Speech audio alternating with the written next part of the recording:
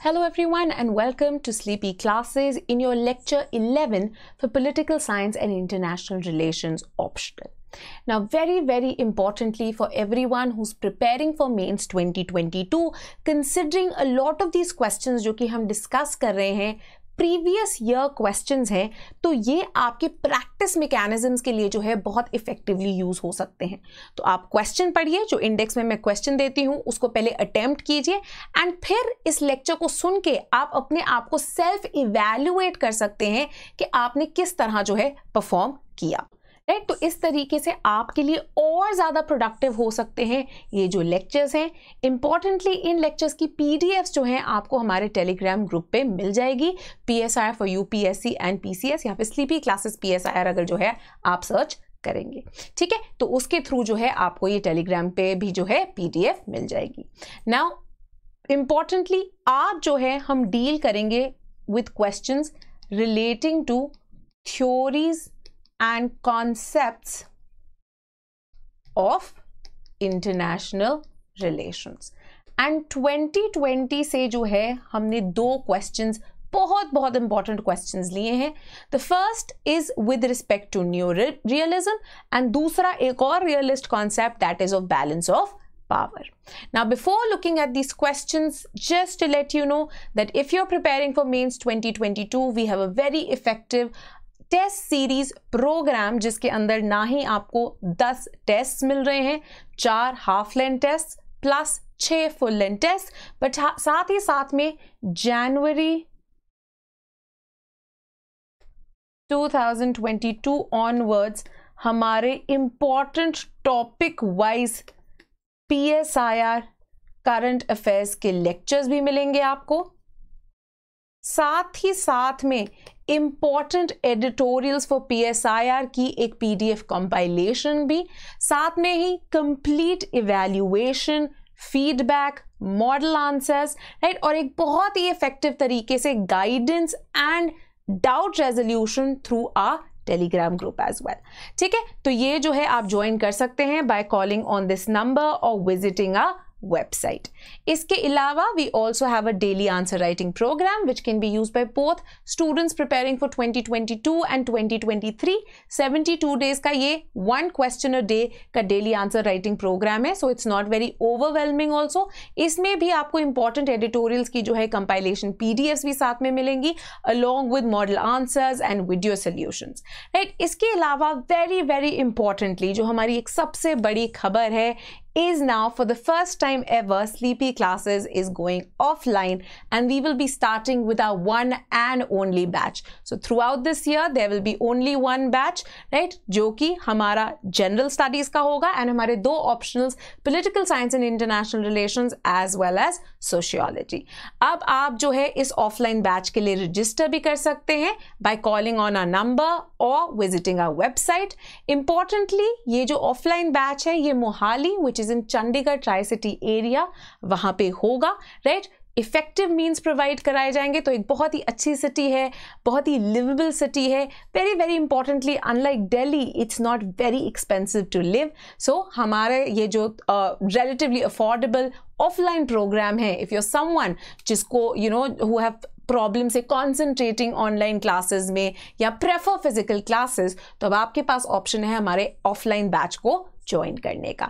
ठीक है? हमारे ऑनलाइन जो क्लासेस है they are just as good just as holistic तो अगर आपको लगता है that do suit your study plan and your pocket better you can follow those and अगर आपको लगता है फ़िज़िकल क्लासेस इज़ समथिंग जिसके साथ आप बेटर प्रिपेयर कर सकते हैं तो आप हमारा ऑफलाइन क्लास जो है, उसको भी ज्वाइन कर सकते हैं।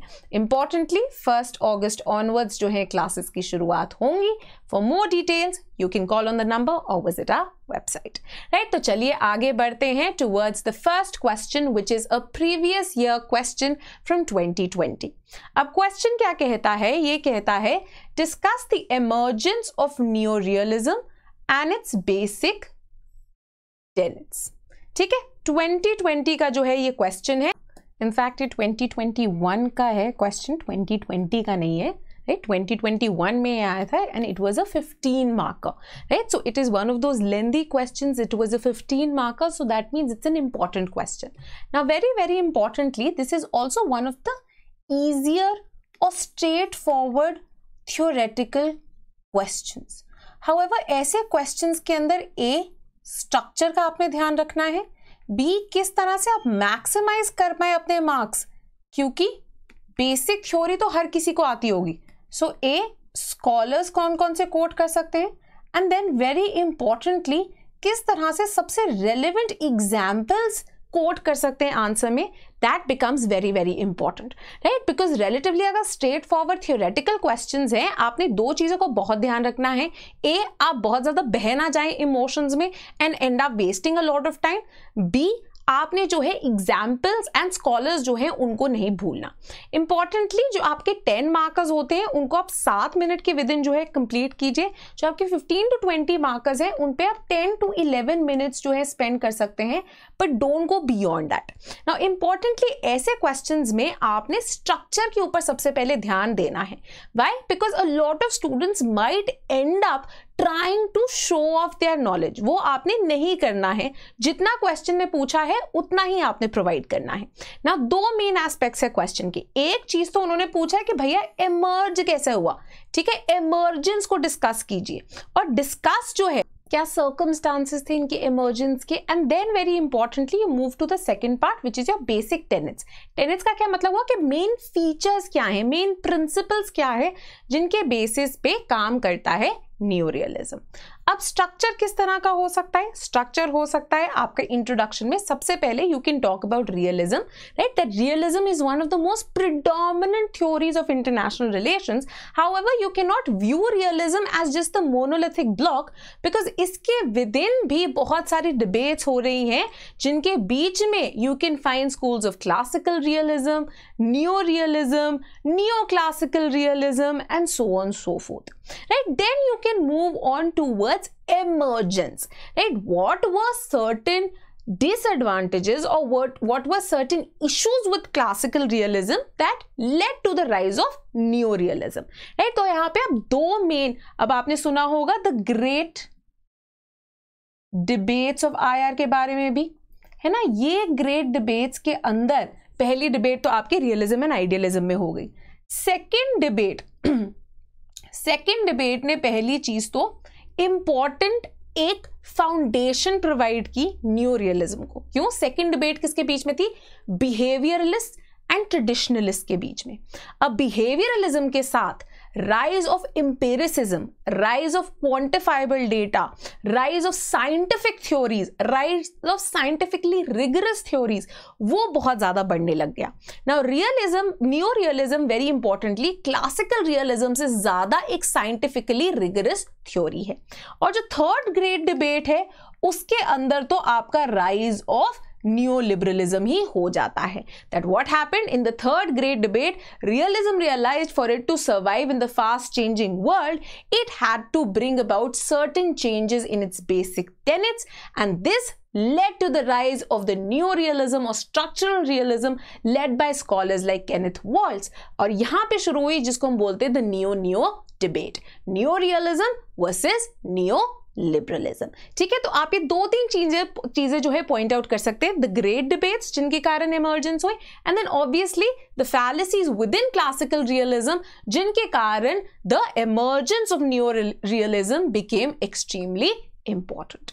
Then the body can be entirely dedicated to discussing basic tenets अब ये basic tenets जो हैं right so whenever we are talking about neorealism there are certain main features of this theory जो कि सामने निकल के आ जाते हैं ठीक है तो अनार्की हो सकता है स्ट्रक्चर हो सकता है रिलेटिव गेन्स की बात हो सकती है सेल्फ हेल्प हो सकता है नेशनल इंटरेस्ट का आइडिया हो सकता है पोलैरिटी थीसिस हो सकता है तो इन सब चीज़ों को अब यहाँ पे आपने बहुत इंपॉर्टेंट चीज़ याद रखनी है you cannot be writing essays on each and every tenet.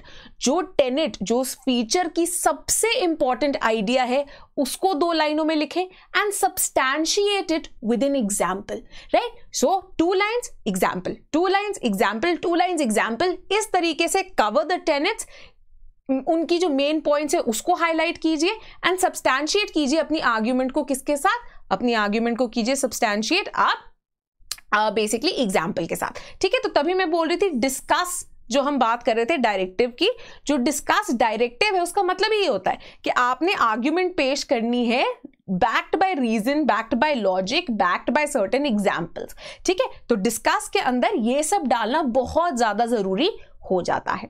Then you can conclude by providing a critical analysis of the basic tenets of realism followed by what is the enduring significance why is neorealism considered to be significant even today or what what are certain developments over and above neorealism जो कि IR के अंदर particularly in the realist school हमें देखने को मिलती हैं right so if you follow this structural path your answer will be very well organized right now let's look at the answers substance as well now importantly jaise ki maine bataya we can start by talking about the broader realist school that how it is one of the standalone theories one of the most significant theories used to understand global politics and international relations even today and very importantly बहुत ही ancient antecedents है इसके so people like Thucydides people like Machiavelli people like Hobbes right they are considered even Kautilya they are considered the ancient proponents of the realist theory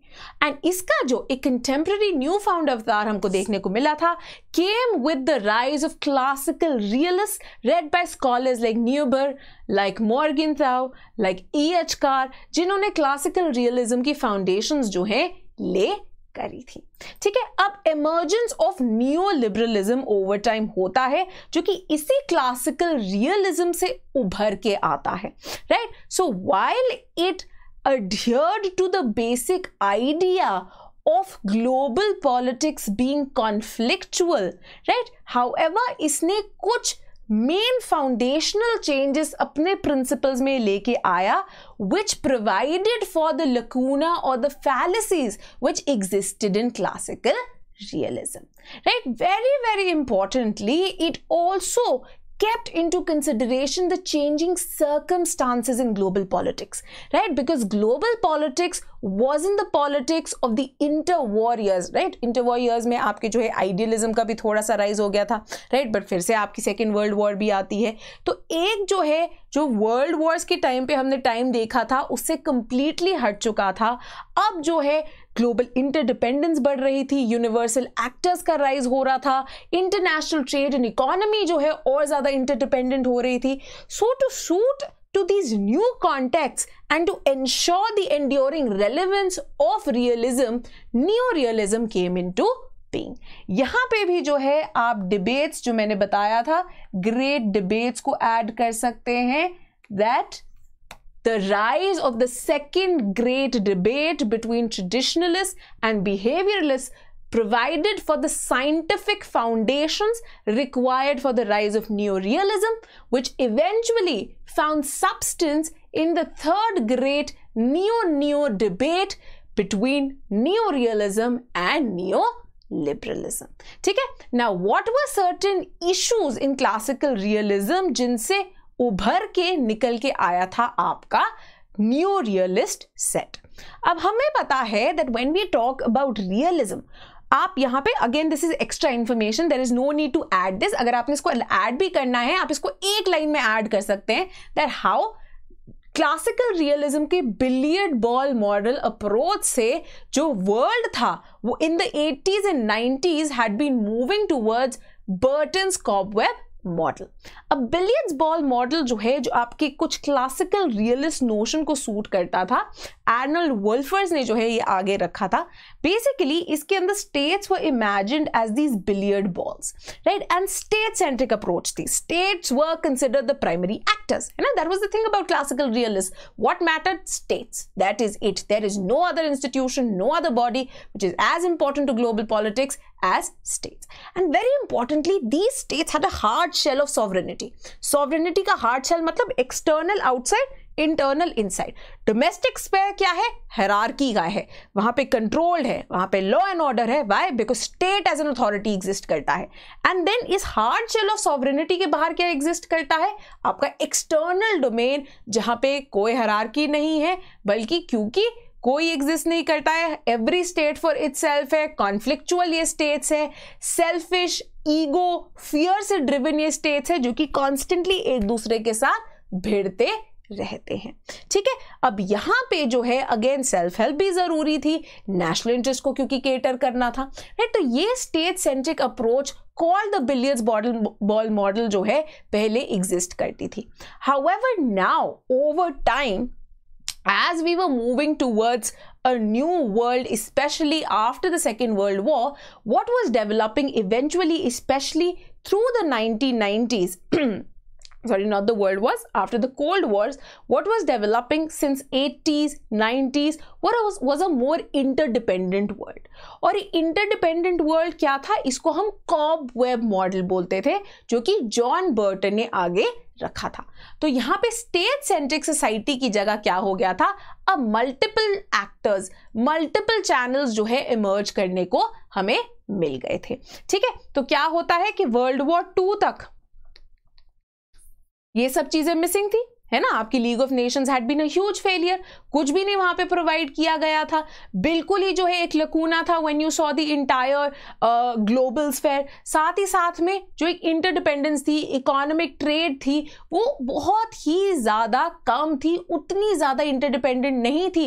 considering हमने एक massive financial crisis देखा था, जितनी over time हमें देखने को मिल गई। ना with the rise of transnational actors with the rise of international trade and economy अब जो है there was a growing interdependence जहाँ पे सिर्फ़ स्टेट्स नहीं, बल्कि मल्टीपल एक्टर्स जो है इंपॉर्टेंट हो रहे थे। ट्रांसनेशनल ऑर्गेनाइजेशंस होगी सिविल सोसाइटी ऑर्गेनाइजेशंस हो गई मल्टीनेशनल कॉर्पोरेशन हो गई, ये सब जो है इन सब के बीच में इंटरकनेक्शन थे इंटरडिपेंडेंस थे। So from billiard balls model अब जो है ये बर्टन के कॉब वेब मॉडल की तरफ़ बढ़ रही थी दुनिया। एंड क्लासिकल रियलिज्म के जो मेन फीचर्स थे, जो टेनेट्स थे, वो इस नई cobweb model society centric approach के लिए जो है एडिक्वेट नहीं थे। So realist scholars therefore realise that to suit uh, uh, to the uh, prevailing conditions to the changing scenario in global politics हमें अपने रियलिज्म के अंदर भी जो है कुछ चेंजेस लाने पड़ेंगे।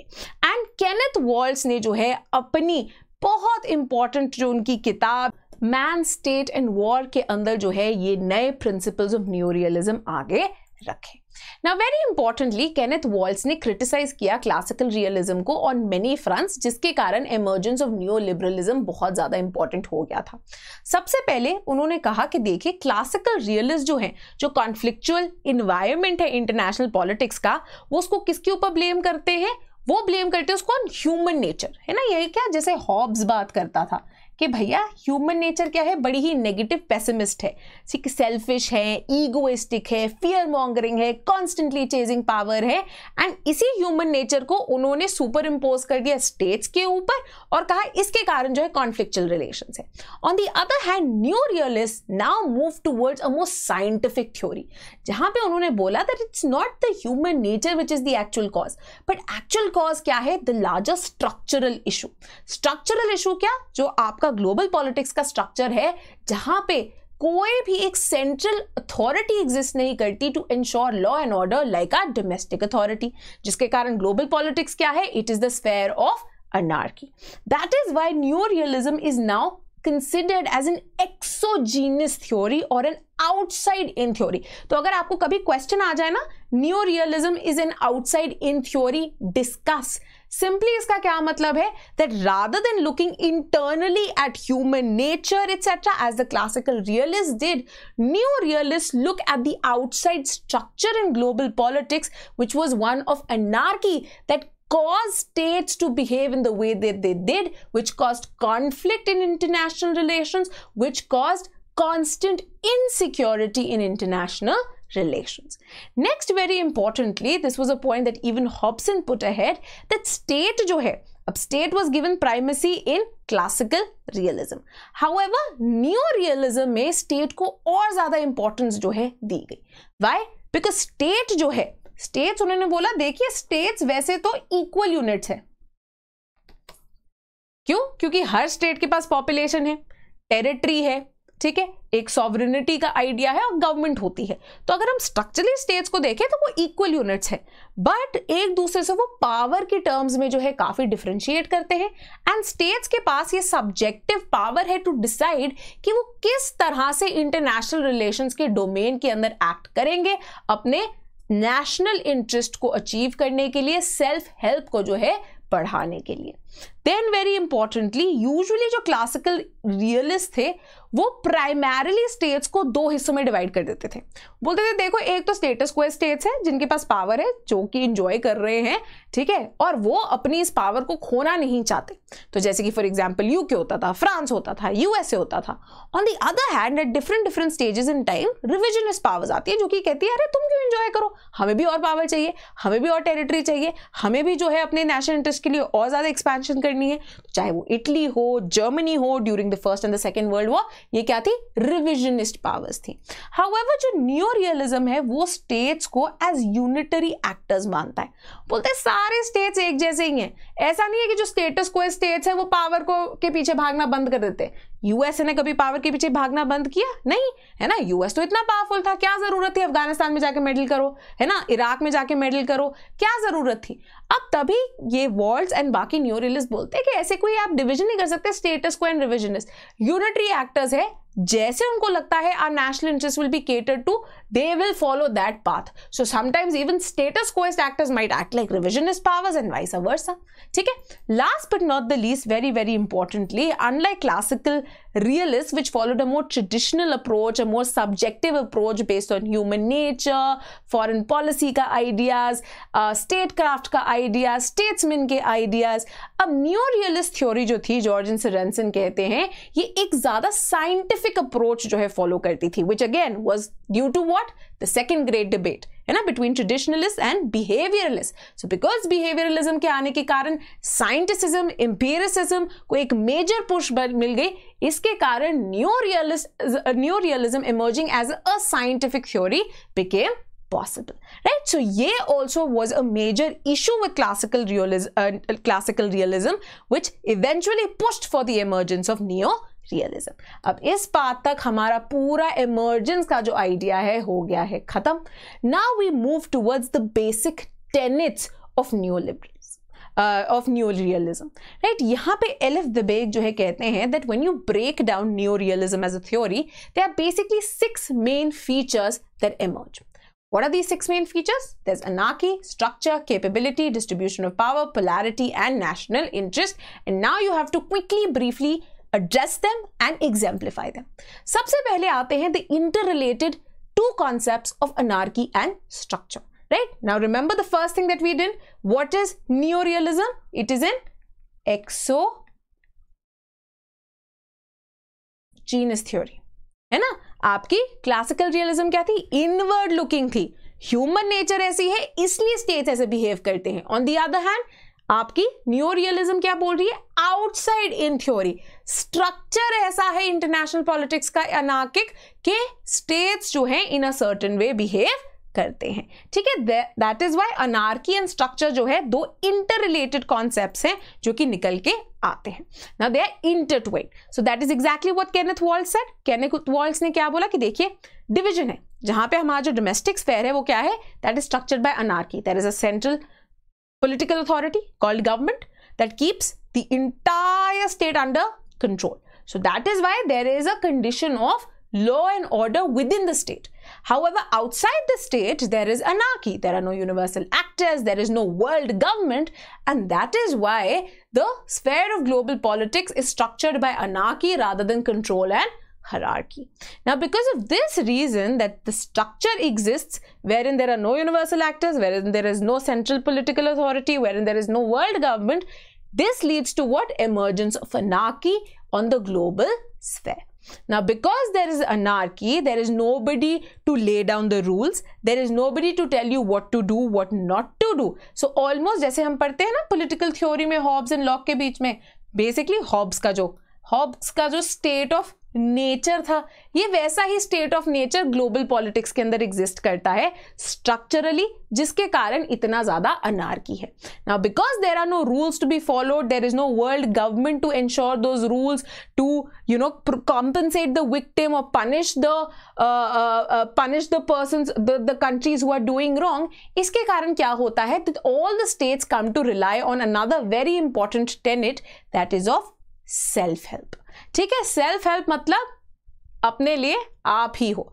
There is no other country that you can rely on right because there is constant insecurity in this anarchic structure and because of this constant self help right because उन्होंने क्या बोला था unitary actors हैं they're all autonomous formally equal political units है और इन्हें अपनी resources पे चाहे वो military resources हो economic resources हो cultural resources हो diplomatic resources हो they will have to rely on their own internal resources to ensure success in global politics and this is called the self-help system now also because of the prevailing insecurity none of the states are sure about what the other state plans on doing.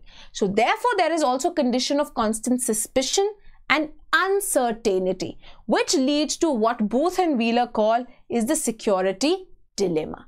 Right? And security dilemma ke karan kya hota hai? Sometimes states end up taking such actions right why because of the prevailing insecure conditions जो कि exist कर रही होती हैं a great example here can be given through the on going Russia Ukraine war right where in the expansion of NATO created security dilemma for Russia, which led to a preemptive attack on Ukraine by Russia ठीक है? So ये जो है एक बहुत important example है जो कि आप एड कर सकते हैं। So you see we've talked about the concept we've talked about a scholar and we've given a contemporary example the next third basic tenet comes in the form of capability ना while all states may be equal political units their capability varies ये capability क्या होती है?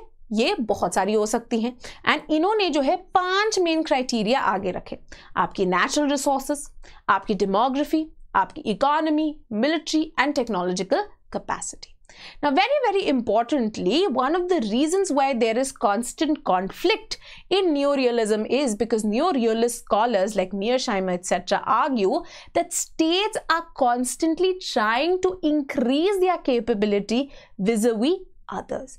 Therefore, आपके इस new real structure के अंदर states are more concern about relative gains than absolute gains right कि अगर मेरी पावर बढ़ रही है तो मेरी power vis-a-vis the other state बढ़नी चाहिए, ठीक है? अगर हम दोनों की सेम पावर होगी या फिर अगर उस स्टेट की पावर मुझसे ज़्यादा है then it might create problems for me ठीक है? तो इसके कारण जो है relative capability That is where do I stand in the hierarchy of distribution of power among states that becomes very very important now यहां पे आप एग्जाम्पल दे सकते हैं दैट जर्मनी और even Japan now both Germany and Japan are now increasing their military budgets considering the changing global scenario and therefore the relative gains. Germany vis-a-vis a very very belligerent Russia वहीं पे Japan vis-a-vis a very very belligerent China ठीक है तो in relative capability के कारण now you can see an increased military spending both by Germany in Europe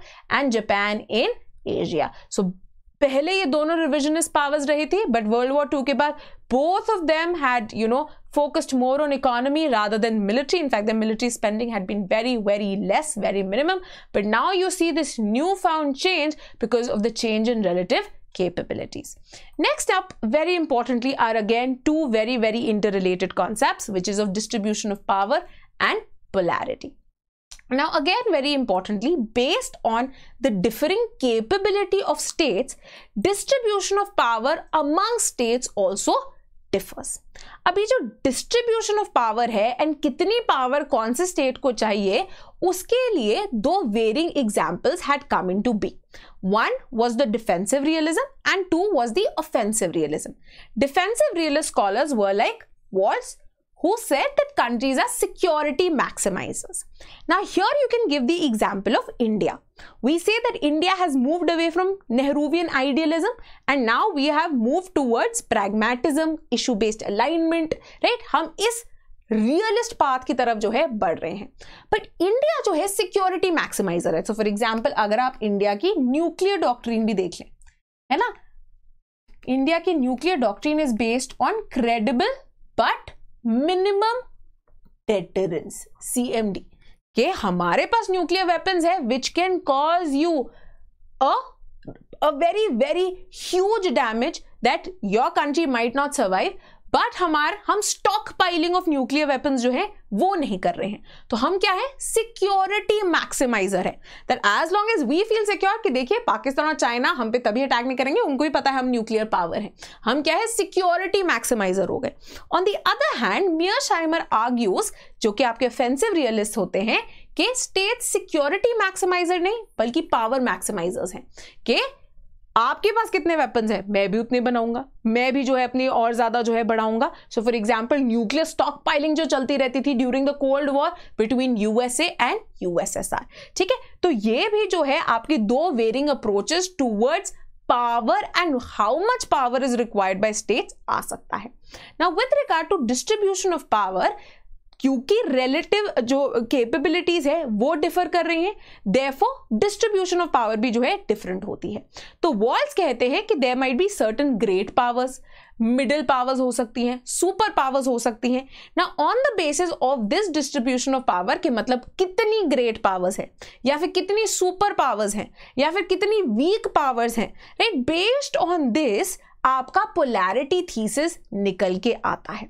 ना polarity is based on this distribution of power in this polarity thesis जो new realist है very very importantly वो क्या कहते हैं कि देखिए, जो आपकी पोलैरिटी है, उसके लिए हमें क्या चाहिए होता है? हमें बैलेंस ऑफ़ पावर चाहिए होता है। अब प्लूरैलिटी जो आपकी पोलैरिटी है, कितने तरीकों की हो सकती है? मल्टीपल तरीकों की हो सकती है। यहाँ पे आपकी बायपोलैरिटी हो सकती है। यूनिपोलैरिटी हो सकती है। या मल्टीपोलैरिटी हो सकती है। है ना? तो बायपोलैरिटी जब दो मेन पावर्स के बीच में डिस्ट्रीब्यूटेड है मैक्सिमम पावर यूनिपोलैरिटी एक सुपर पावर है जो कि पूरा कंट्रोल करती है एंड मल्टीपोलैरिटी जब मल्टीपल पावर्स के बीच में जो है मल्टीपल ग्रेट पावर्स के बीच में जो है पावर डिस्ट्रीब्यूटेड है। ना न्यू रियलिस्ट जो है न्यू रियलिस्ट स्टेबिलिटी थ्योरी जो है, उसको सपोर्ट करते हैं। जहाँ पे वो क्या कहते हैं कि bipolar that is a distribution of power between two great powers और two superpowers provides the most amount of stability to international world and global politics why because जब दो ग्रेट पावर्स के अंदर पावर डिवाइडेड होती है ए पहले तो वो अपनी अलायंसेस बना लेते हैं, जिसके कारण ये बैलेंस ऑफ़ पावर निकल के आती है। ठीक है? तो क्या होता है? क्योंकि दो मेन अलायंसेस बढ़ गई तो एक सिक्योरिटी हो जाती है कि अच्छा अगर ये छोटी कंट्री है तो ये उस अलायंस का हिस्सा है मतलब ये उस पावर के हिसाब से ही एक्ट करेगी। ठीक है? सो आपकी स्पेस फॉर मिस कैलकुलेशन जो है, कम हो जाती है बिकॉज़ दो मेन पावर्स नहीं एक दूसरे के साथ बात करना है। तो अगर उनके अलायंस के चिंटू मिंटू भी लड़ रहे हैं तो दोनों पावर्स एक दूसरे के साथ बात करके उन दोनों को कंट्रोल कर सकते हैं। Then very importantly on the other hand वो कहते हैं मल्टीपोलैरिटी मतलब जितनी नंबर ऑफ़ पावर्स के अंदर और ज़्यादा पावर डिस्ट्रीब्यूटेड हुई, उतने ज़्यादा चांसेस फॉर वॉर जो है इंक्रीज हो जाते हैं। वाई फ्लूडिटी होती है इंस्टेबिलिटी होती है एंड कॉन्स्टेंटली अलायंसेस जो है शिफ्ट कर रही होती है यहाँ से वहाँ, जिसके कारण चांसेस फॉर कॉन्फ्लिक्ट जो है और ज़्यादा बढ़ जाते हैं। ना because of their faith in bipolarity one of the other instruments that they focus a lot on is balance of power ना क्लासिकल रियलिस्ट भी जो है बैलेंस ऑफ़ पावर को बहुत ज़्यादा इंपॉर्टेंट मानते थे।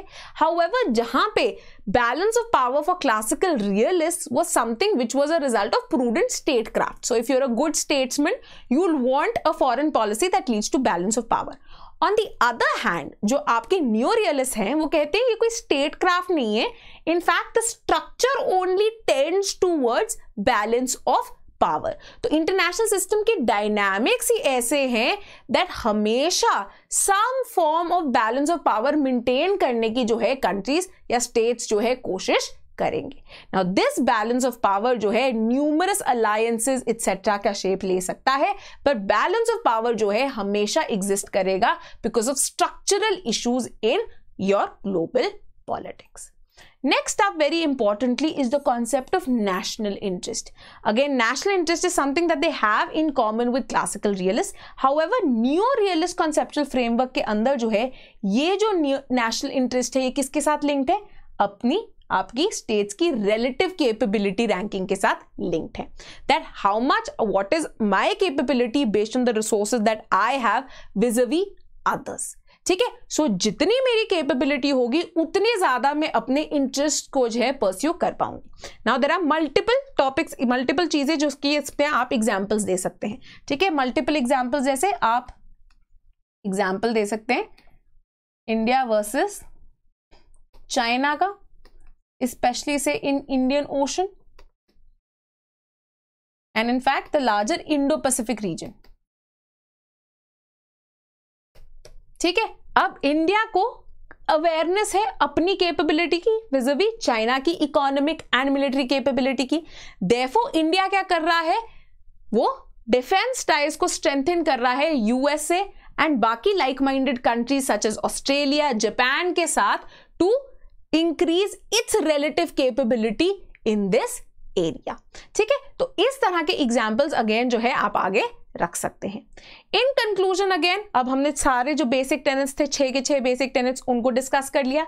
एग्जाम्पल्स दे दिए। Now we come to the conclusion part Now despite the important changes that new realism got about it wasn't without its own criticism A number of neoclassical theorists such as Fareed Zakaria ended up criticizing neorealism. Why? Because they said that yes, you've moved towards structural path, but by ignoring level and importance of individuals in influencing foreign policy आप एक बहुत ही important dimension Of international relations को miss out कर रहे हो, जिसको add करने की रिक्वायरमेंट है next very importantly even other schools like English का इंग्लिश स्कूल जो है हेडली बुल द्वारा let they also ended up challenging new realist का व्यू स्पेशली जिसको वो स्टैटिक मानते थे राइट right? वो बोलते कि आप बोलते हो, आप बहुत साइंटिफिक हो, आप बहुत रिगरस हो, आप बहुत ज़्यादा जो है एम्पेरिकल हो पर आपका व्यू जो है बहुत स्टैटिक है एंड जितना ज़्यादा डायनामिक है ग्लोबल पॉलिटिक्स उस डायनामिज्म के साथ जो है, आप अपना anarchy structure led view जो है, उसको इवॉल्व नहीं कर पाते।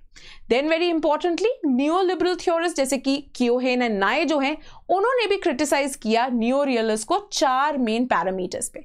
सबसे पहले उन्होंने बोला origin of states preferences right the fact कि सेल्फ हेल्प होगा, कि किस तरह से वो सिक्योरिटी डिलेमा के साथ लेड होंगे, वो बोलते हैं आपका आइडिया जो है बहुत ज़्यादा डिफरेंट है from the requirements of today's globalise and interdependent world secondly they also raise the issue of the agent structure problem much like new classical realist also ठीक है? कि Nancy कंप्लीटली मिसिंग है क्योंकि आपका इतना स्ट्रक्चर लेड अप्रोच है। Then very importantly उन्होंने जो वर्ल्ड्स की स्पेसिफिक डेफिनेशन थी पॉलिटिकल स्ट्रक्चर की, किस तरह से स्ट्रक्चर को एक ओवरवेलमिंग रोल देते हैं, उसको भी क्रिटिसाइज किया।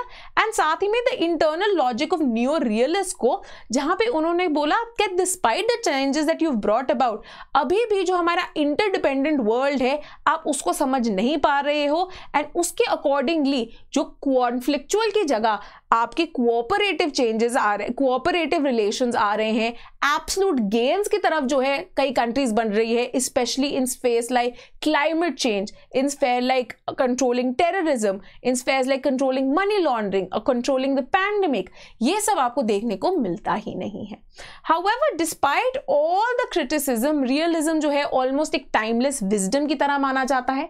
जहाँ पे ये कहा जाता है that when it comes to international relations one of the primary doctrines that still remains one of the most important schools that still remains is that of realism in fact जो कि आज भी देखा जा सकता है, चाहे वो नेटो की एक्सपेंशन की बात करें, हम यूरोप में ongoing Russia Ukraine crisis की बात करें, जो चाइनीज़ एक्सपेंशन चल रही है, चाहे वो इंडो पैसिफिक एरिया हो इंडिया के बॉर्डर पे हो, या फिर अफ़गानिस्तान का crisis after the coming in of Taliban and fleeing of USA because अब उनको एक नया interest in Indo Pacific area जो है मिल गया है। Right all of this point out that how realism in its varying roles in its varying schools in its various avatars is still very very important right on this note the answer comes to an end hopefully आपको सारे points जो है समझ में आ गए होंगे। Now let's move on to the next question जो कि आपका 2020 का क्वेश्चन था। And this was a 20 marker right so again a very important question a very theoretical question question क्या कहता है? Explain the concept of balance of power what are the various techniques for maintaining balance of power? ठीक है?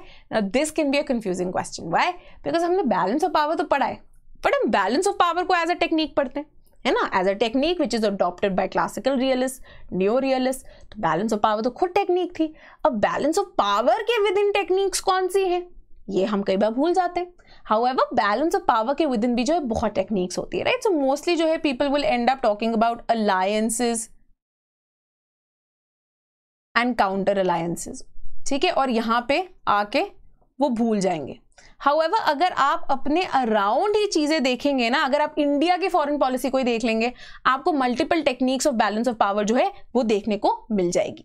Right so for example apart from alliances and counter alliances से buffer state का idea हो गया arms races का idea हो गया past में अगर आप जाए टेरिटोरियल डिविजन का आइडियाज़ हो गए तो ये सब भी जो है बैलेंस ऑफ़ पावर की टेक्निक्स होती हैं।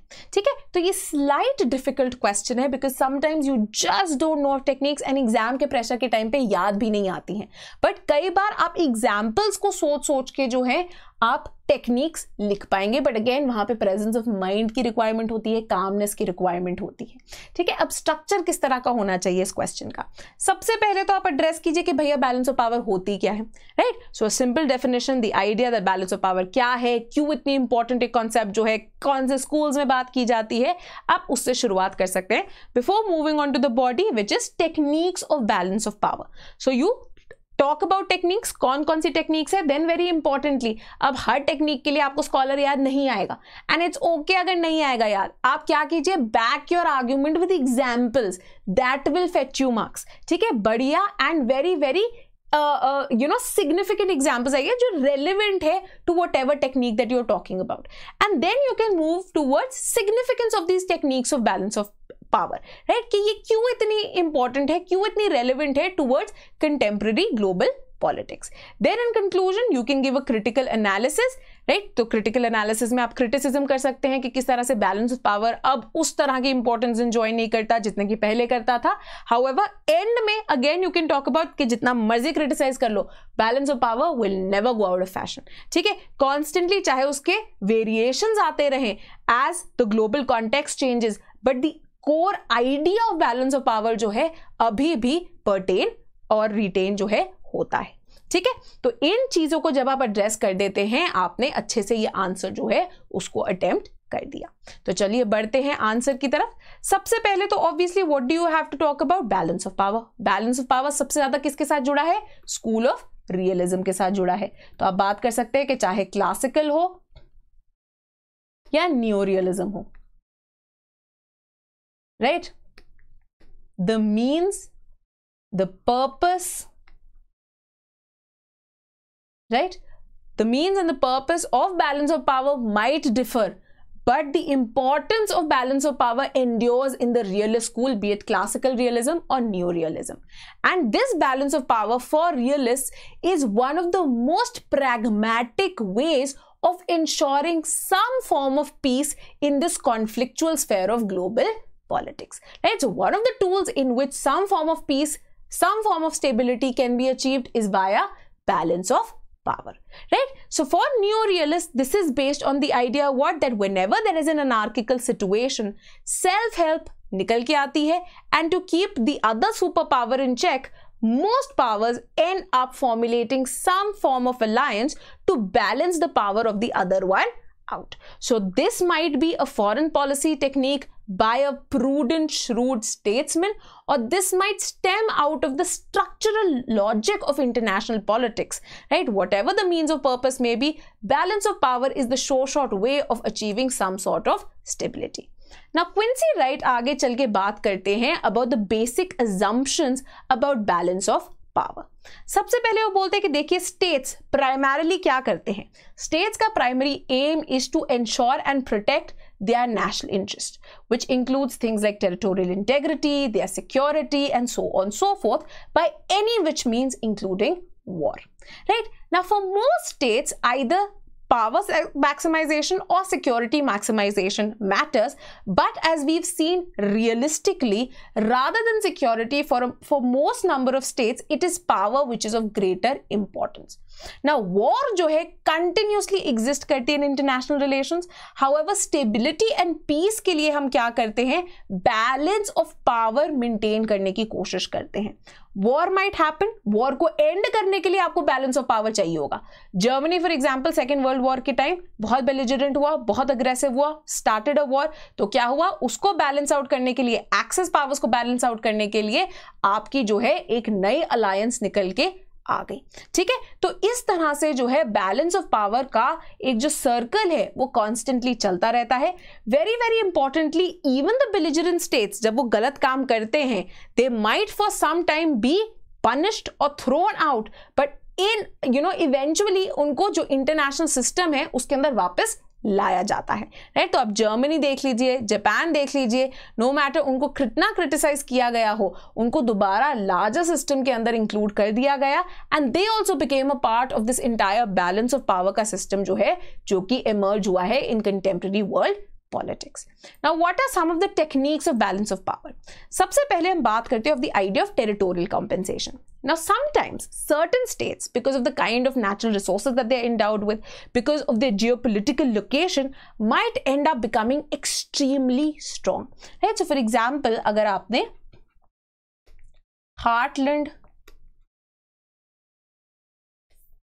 थ्योरी के बारे में सुना है राइट मिकाइंडर ने जो है आगे रखी थी और उन्होंने बोला देखिए ईस्ट यूरोप जो है ना एरिया, जिसने भी उसको कंट्रोल कर लिया ना, वो आपका पूरा जो यूरेशियन कॉन्टिनेंट है, उसको कंट्रोल कर पाएगा एंड इवेंचुअली जो है ग्लोबल पॉलिटिक्स पे सबसे इंपॉर्टेंट प्लेयर जो है, उसकी तरह निकल के आ जाएगा।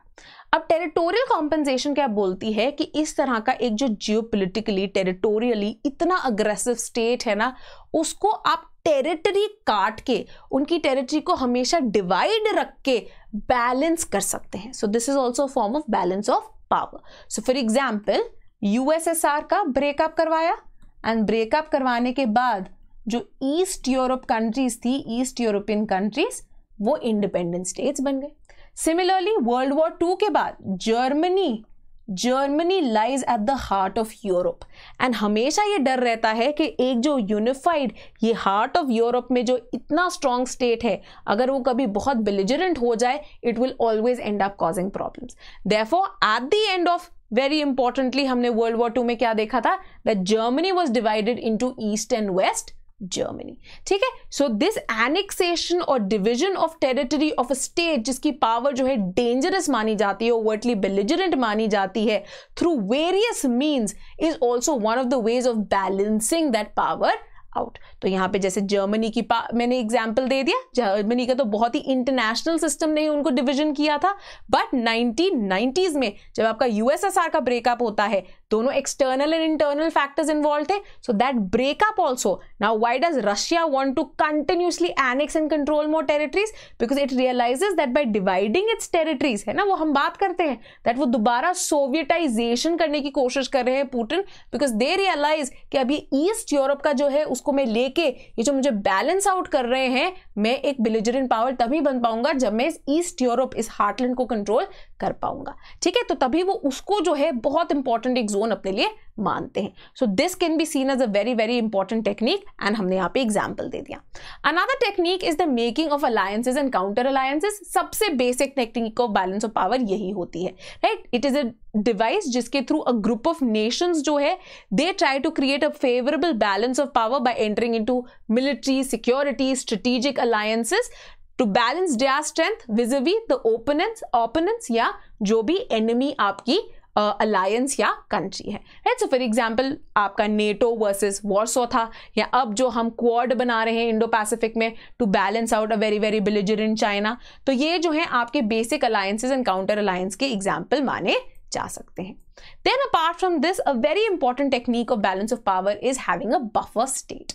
Right? A buffer state क्या है कि दो rival opponents के बीच में एक relatively weaker थोड़ा neutral state हो उसको हम buffer state कहते हैं right? So for example, Ukraine अब क्यों इतना belligerent हुआ हुआ है कि उनका आइडिया ही ये था कि वेस्टर्न यूरोप अगर इतना नेटो लेड है मेरे बैकयार्ड के अंदर जो है अगर आप नेटो इंटरफेयर करेगा तो वो जो बफर है protecting Russia that will go away right so Russia forms a buffer between itself and NATO similarly हम कहते हैं कि चाइना एंड इंडिया के बीच में Nepal used to act as a buffer state ठीक है? तो ये जो है buffer state can also be used as a mechanism of balancing then another way of balancing is very importantly your arms race right arms race एक बहुत ही important way चाहे सिक्योरिटी डिलेमा आ जाए या बैलेंस ऑफ़ पावर आ जाए। So one of the ways in which you can balance out a very dangerous aggressive belligerent power is by having some sort of self sufficiency और just as aggressive and dangerous weapons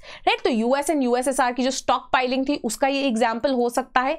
In fact on the other hand disarmament might also be a way of balance of power कि जब कोई एक बहुत dangerous या belligerent power होती है, जब उनको डिसआर्म करने की कोशिश करते हैं हम तो भी उनको हम बैलेंस आउट कर रहे हैं। तो फॉर एग्ज़ाम्पल जर्मनी की वर्ल्ड वॉर वन के बाद उनके ऊपर लिमिट्स लगा दी गई थी कि आप इतनी मिलिट्री के ऊपर जो है चीज़ें नहीं रख सकते हैं। सिमिलरली जापान के ऊपर after the second second world war जो है, कुछ लिमिट्स लगा दी गई थी। तो ये क्या है? ये disarmament can also be used as a technique of balance of power last but not the least अब इस आर्म्स रेस का एक मेन फीचर आ गया है in the form of nuclear power right so rather than constantly increasing the size of your military increasing your traditional arms अब क्या आ गए हैं? न्यूक्लियर वेपन्स आ गए हैं। तो अब मल्टीपल एग्जाम्पल्स यहाँ पे दे सकते हैं। फॉर एग्ज़ाम्पल इजराइल इसराइल जो है one of the unofficial nuclear powers beyond the NPT regime माना जाता है। क्यों रखा हुआ है? टू बैलेंस आउट जितना भी एक उनका बहुत ही ज़्यादा अग्रेसिव एंड अनफ्रेंडली नेबरहुड है in West Asia similarly India का न्यूक्लियर डॉक्ट्रिन एंड इंडिया का nuclear programme which was done to balance out two extremely belligerent powers one तो was a nuclear power state in the form of China and second आपका Pakistan, right? So nuclear program of India can also be seen as a way of balancing both Pakistan and China in its immediate neighbourhood right अब आप देख लो कितनी सारी techniques जो है हमने उनकी बात कर ली and very importantly extremely relevant examples जो है वहाँ पे हमने कोट कर दिए हैं। ना what is the continuing relevance of balance of power ना क्लासिकल रियलिस्ट के अंदर very importantly you can quote Morgenthau जो कि क्या कहते हैं कि हर state right emerging out of उनकी ह्यूमन नेचर वाली थ्योरी फियर फियर से ड्रिवन है पावर हंग्री है सेल्फिश है ईगोइस्टिक है तो इसलिए स्टेट्स भी किससे सफ़र करते हैं? सिक्योरिटी डिलेमा से। And one of the ways in correcting the security dilemma is via balance of power similarly Palmer and Perkins भी आर्ग्यू करते हैं कि ये जो नेशन सिस्टम है नेशन स्टेट का सिस्टम है, जब तक इंटरनेशनल सोसाइटी के अंदर अनारकी रहेगी one of the ways in which some form of stability और peace can be ensured is by means of balance of power However, a number of liberal theorists and the development of neoliberalism have ended up questioning the relevance of, relevance of balance of power. Now, they say that in a certain international context, balance of power was very much in vogue, जिसको बुलाते हैं the golden age of balance of power, which mainly existed पहले from 1848 to 1914 and then to some extent during the Cold War years. However, even during the Cold, Cold War years, a number of complex interdependencies had come to emerge, जो कि 1990s onwards जो है, और ज़्यादा important हो गई हैं। In fact even during the cold war Nehru ने क्या बुलाया था बैलेंस ऑफ़ पावर को? इन्होंने बोला था this is a means of stability and peace बल्कि it is a nervous state of peace ठीक है एंड कोल्ड वॉर ईयर्स यहाँ पे आप ऐड कर देना। Right right? Wherein they said that there was always this fear that a local issue might lead to a world war right तो yahan पे again आप example दे सकते हैं जैसे कि Cuban missile crisis, राइट किसी को नहीं पता था कि ये क्यूबन मिसल क्राइसिस अगर रिजॉल्व ना होता it might have led to an all out breakout of a nuclear war war between two great super powers of U S and U S S R then very importantly a lot of theorist also argue that nation states जहाँ पे complex interdependence के अंदर इतने ज़्यादा रुझे हुए हैं that balance of piece जो है रिक्वायर्ड ही नहीं होती for security purposes now US and China might argue have trade war so on so forth but on the uh, you know on the backstage their trade relations or economic relations to some extent continue. Or there are some other forms of dependencies that continue continue to take place between them. So no matter how much the countries might try to create alternative uh, sources alternative markets right so for example india right? अपनी dependency को कम करने के लिए alternative markets को देख रहा है डेवलप किया जा रहा है आईपीईएफ जो आईपीईएफ का फ्रेमवर्क है, उसके अंडर मेन आइडिया ही ये है कि सेमीकंडक्टर्स के लिए, बाकी सब चीज़ों के लिए चाइना से ऑल्टरनेटिव जो है, हम एक सोर्स क्रिएट करें but despite all of that ऐसा तो है नहीं कि हमने चाइना के साथ जो है बिज़नेस रिलेशन खत्म कर दिए ट्रेड खत्म कर दिए, जितनी मर्ज़ी हम एप्स बैन कर ले, अभी भी ट्रेड रिलेशन जो है कंटिन्यू करते हैं। So there is some form of interdependence जो कि निकल के आ गई है in every sphere more importantly now rather than the golden age of the cold war years जहाँ पे ग्लोबल पीस एंड सिक्योरिटी को थ्रेट्स होती थी इंटरस्टेट वॉर्स अब जो है नेशन स्टेट से जो थ्रेट्स है they have shifted into larger other things so for example non state actors and uncivil society. Right? So, for example, civil wars within states are increasing because rise of terrorist और extremist groups. तो अगर हम Yemen की बात करते हैं, अगर हम सीरिया की बात कर रहे हैं इंटरनली स्टेट्स के अंदर जो है सिविल वॉर्स चल रही हैं। सिमिलरली और कौन सी इंपॉर्टेंट ग्लोबल स्पेयर पे क्राइसिस हो रहे हैं? अगर हम आइसिस की बात कर ले राइट और ऐसे टेररिस्ट ग्रुप्स की बात कर ले। Similarly non traditional security threats जो कि निकल के आ रही हैं, चाहे वो क्लाइमेट चेंज हो या फिर कोविड नाइनटीन पैंडमिक हो, ये ऐसी चीज़ है जो कि बैलेंस ऑफ़ पावर जो है किसी भी तरह से इसको सेफगार्ड नहीं कर सकता। या आज जो हम इन्फ्लेशन की बात कर रहे हैं स्टावेशन क्राइसिस की बात कर रहे हैं, श्रीलंका में चल रहे एनर्जी क्राइसिस की बात कर रहे हैं फ़ूड एंड फ्यूल क्राइसिस की बात कर रहे हैं राइट तो यहाँ पे balance of power will be inconsequential because these security threats are beyond the traditional security threats envisage by the real schools which can be manage by balance of power right so ये सब criticism जो है आपका निकल के आ जाता है बैलेंस ऑफ़ पावर का। However, very importantly, an important thing to be pointed out is कि balance of power जो है आपके billiards ball model के अंदर जो है बहुत ज़्यादा सूट करता था But now as the cobweb model has emerged, the usage of balance of power became becomes extremely complex. But despite whatever arguments and criticisms we might offer, interconnectedness चाहे जितनी मर्ज़ी हो on some scale or the other, relative gains still matter to countries, and therefore, you always see states trying to adopt certain techniques to balance out their rivals. So, for example, अगर हम India की एक्टिस्ट policy देख लें या फिर joining Quad in both east and waste देख लें।